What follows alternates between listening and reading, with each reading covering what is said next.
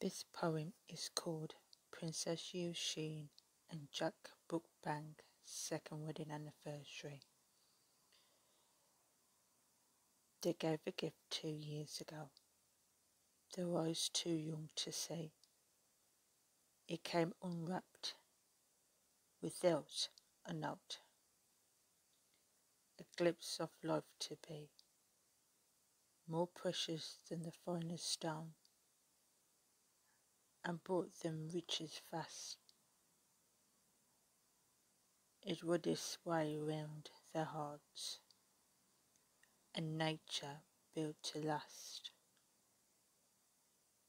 Though slow to turn, but a long way round,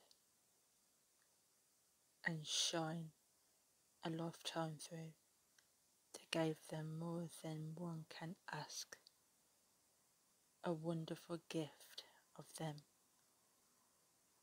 Happy second wedding anniversary, Eugenie and Jack.